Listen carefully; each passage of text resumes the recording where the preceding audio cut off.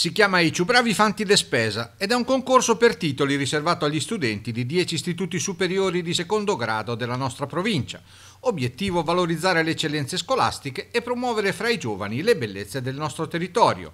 Al termine dell'anno scolastico, gli insegnanti di educazione motoria di ogni istituto segnaleranno 5 studenti che abbiano ottenuto, oltre a lusinghieri risultati didattici, anche il raggiungimento di validi obiettivi sportivi, coniugando quindi lo sport con il profitto scolastico. Il merito verrà eh, sanzionato a fine anno scolastico.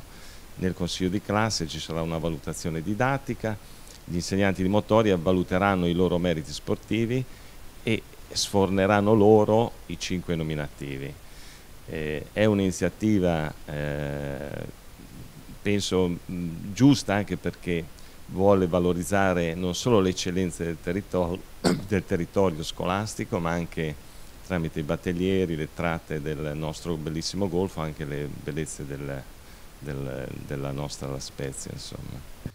Ai 50 alunni prescelti, dai rispettivi consigli di classe di ogni istituto, verranno assegnati biglietti omaggio su tratte gestite dai battellieri del consorzio Golfo dei Poeti.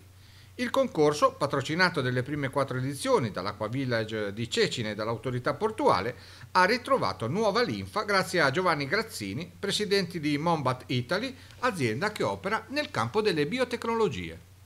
La cosa simpatica è che si chiama Ciù bravi fanti de spesa, no? perciò eh, diciamo che cerchiamo questi ragazzi eh, che si impegnano chiaramente nel, nella scuola ma che riescono ad avere successo anche nello sport.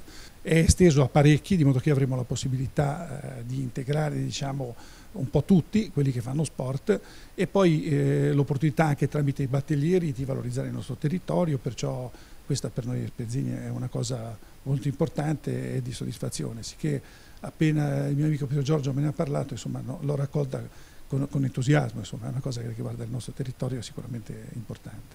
Poi lo sport è anche scuola di vita.